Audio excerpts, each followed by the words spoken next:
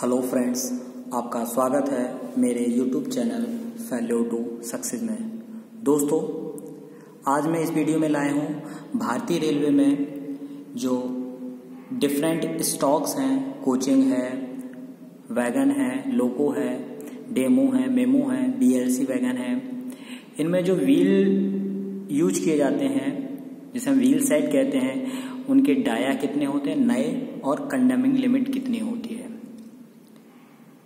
दोस्तों, अगर आप मेरे चैनल पर नए हैं तो मेरे चैनल को सब्सक्राइब कर लें। वीडियो को पूरा देखें। वीडियो पसंद आए तो लाइक करें, शेयर करें और कमेंट करें। चलिए दोस्तों, बताता हूँ आपको न्यू व्हील डाया और कंडमिंग व्हील डाया कितना कितना होता है। चलिए दोस्तों, सबसे पहले तो मैं लोको, भारतीय रेलवे में जो लोको यूज़ किया जाता है, जिसे हम इंजन कहते हैं, जिसे लोकोमोटिव पूरा नाम बोला जाता है, उसका जो न्यू डाया होगा व्हील न्यू डाया। हम किसके डाया की बात कर रहे हैं? व्हील के डाया की बात कर रहे हैं। और यहाँ पर हम बात कर लेते हैं उसका कंडमिंग। कितने पे कंडम किया जाएगा, उसका डाया कितना होगा? तो लोको लोको का जो नया डाया होता है, व्हील का, वो हमारा एक हज़ार बानवे का नया व्हील होता है। जिसमें कुछ वेरिएशन भी है कि हम उसको प्लस पाँच और माइनस ज़ीरो ये दोस्तों जितनी भी क्वांटिटी है, वो डाया जो है, वो एम mm में है।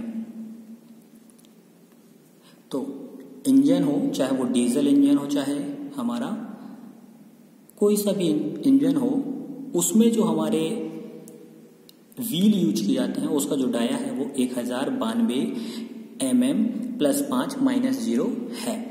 जबकि इसको अगर हमें कंडम करना है तो हम इसको एक हज़ार सोलह एम एम पर कंडम कर देंगे।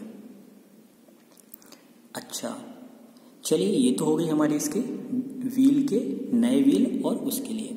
अब दूसरे नंबर पे हम बात कर लेते हैं वैगन में।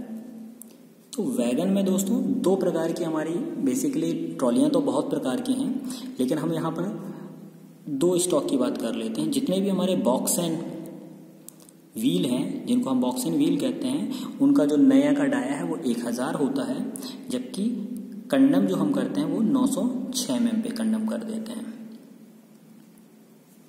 ये वैगन में हो गया। एक वैगन में ही हमारा एक और स्टॉक होता है, जिसे हम बीएलसी बोलते हैं।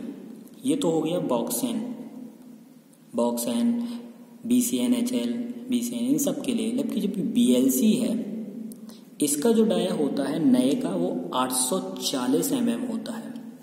और जो इसका जो कंडेमिंग डाया होगा, वो 780 mm पे कंडम हो जाता है।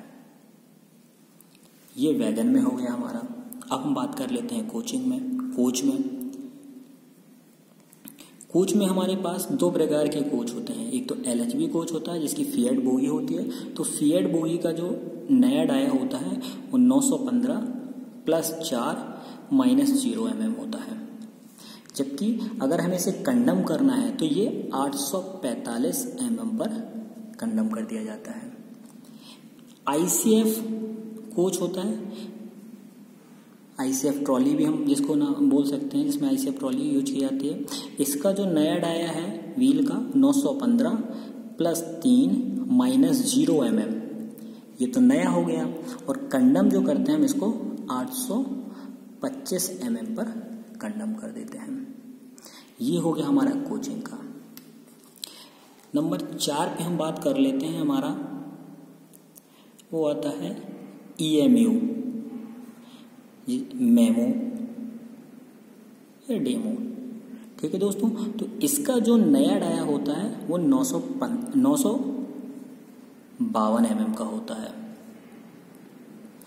अच्छा इसमें क्या होता है कि ट्रेलिंग कार, मोटर कार और एक एच सी सी सी ये हमारे तीन प्रकार के इसमें कोच कहें या कार बोलते हैं हम इनको, वो हमारे लगे होते हैं। तो तीनों की नए डाया तो सेम है।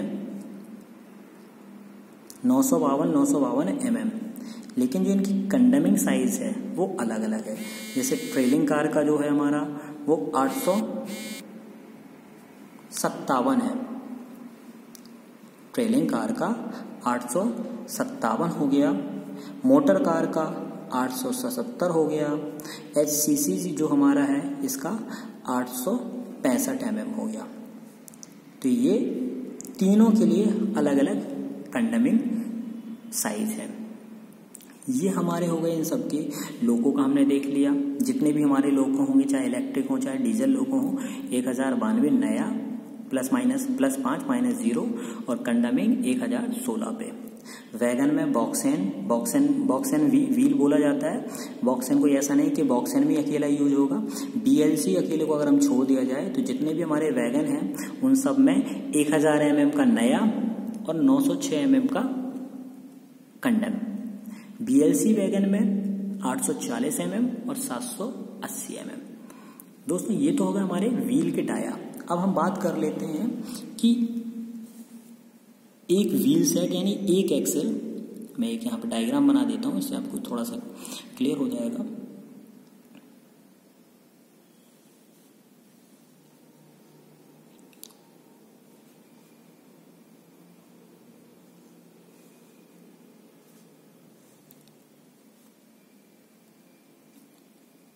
ये मैंने आपको एक एक्सेल का डायग्राम बनाया जिसमें दो व्हील दिखाए गए हैं।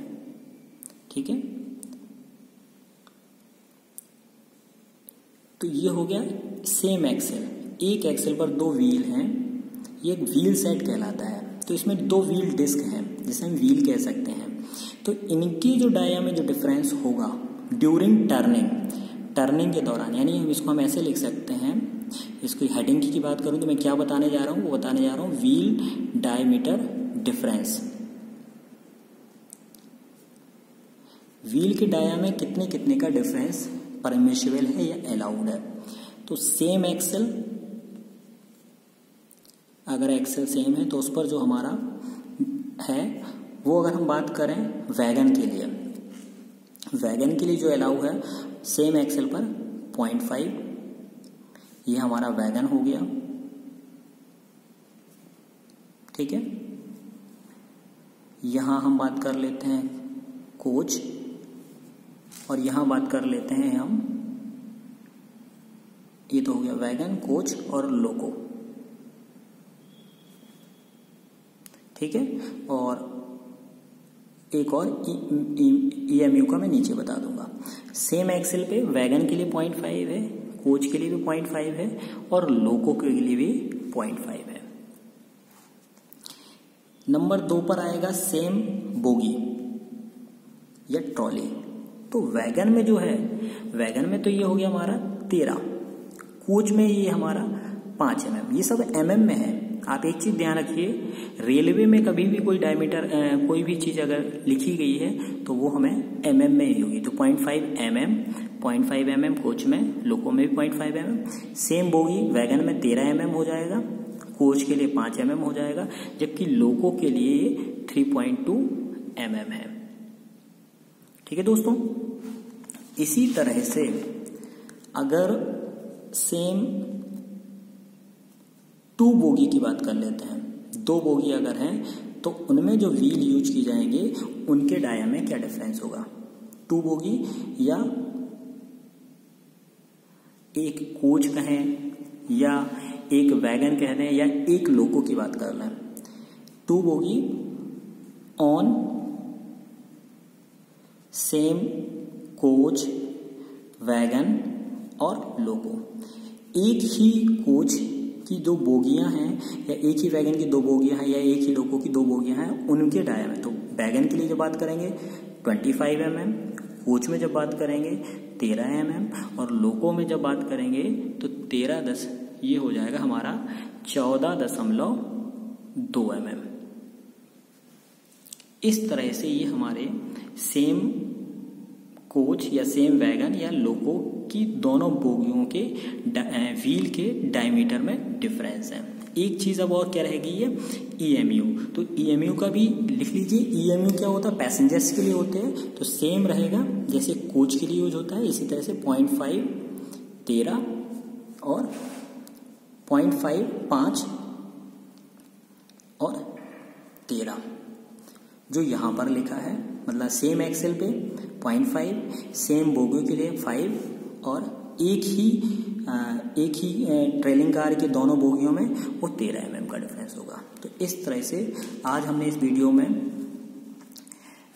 भारतीय रेलवे में जो भी हमारे लोको हैं, वैगन हैं, कोच हैं, उनमें जो व्हील डायर यूज़ किए जाते हैं, उनकी नया साइज़ और कंडमिक साइज़ को देखा और हमने ये भी देखा कि व्हील डायमीटर में कितना कितना डिफरेंस हमें अलाउ है।